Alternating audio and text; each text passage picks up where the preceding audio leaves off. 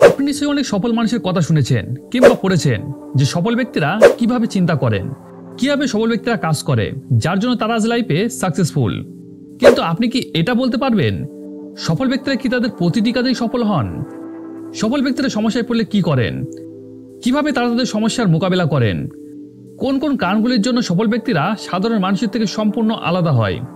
আর একজন সফল ব্যক্তি হতে হলে ঠিক কী রকম মানসিকতার প্রয়োজন?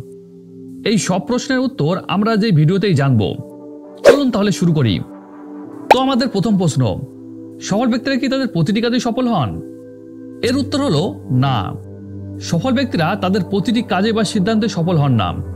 অর্থাৎ, সফল ব্যক্তিরা শুধুমাত্র একটি লক্ষ্য নিয়ে কাজ করেন। সে কখনোই তার লক্ষ্য বদলায় না, কিন্তু লক্ষ্যে পৌঁছানোর পথ পরিবর্তন করে।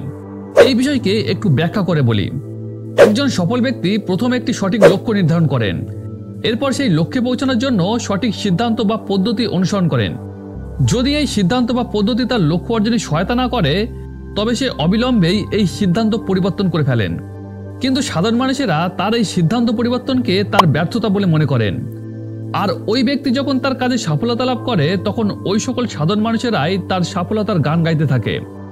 একজন সফল ব্যক্তি ভালো ও বড় চিন্তার মালিক হওয়ার কারণে তারা তাদের লক্ষ্যে পৌঁছাতে কখনোই একটি পথ অনুসরণ করেন না। তারা একাধিক পথ অনুসরণ করেন, যার মাধ্যমে বুঝতে পারেন কোন পথটি তার লক্ষ্যে পৌঁছানোর জন্য সঠিক। তারপরেই তারা জীবনে সফলতা লাভ করে। পরের প্রশ্ন, সফল ব্যক্তিরা সমস্যায় পড়লে কি করেন?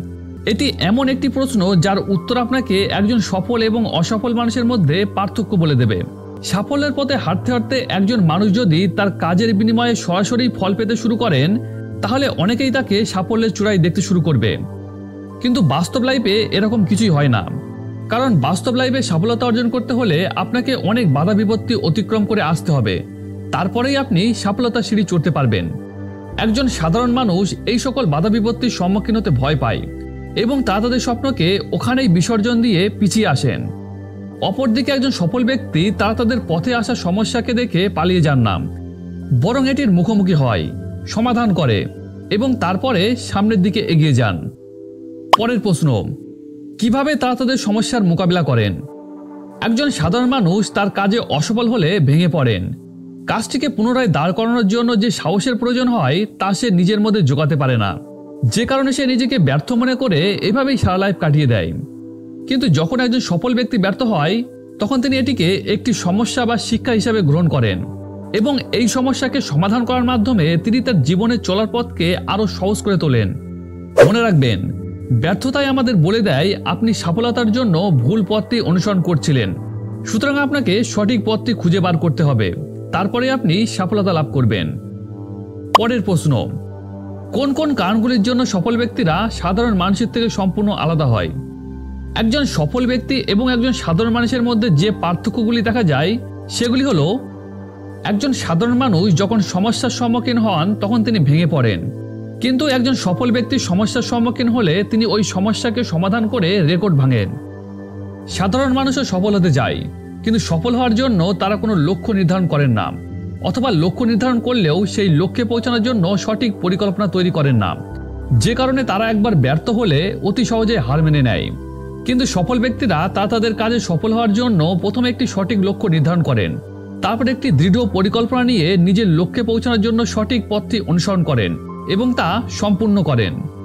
সাধারণ মানুষেরা জীবনে বড় কিছু করতে ভয় পায় এবং অস্বস্তি অনুভব করে। অপরদিকে সফল ব্যক্তিরা যেমন খুব বড় চিন্তা করেন, তেমনি তার ভিত্তিতে বড় কিছু করতে সক্ষম হন। এবং শেষ প্রশ্ন, একজন সফল ব্যক্তি হতে হলে ঠিক কীরকম মানসিকতার প্রয়োজন?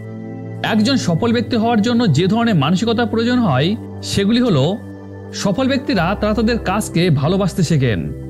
সফল ব্যক্তিরা বাইরে থেকে মোটিভেশন নেন না। তারা নিজেরাই একজন মোটিভেটেড পারসন।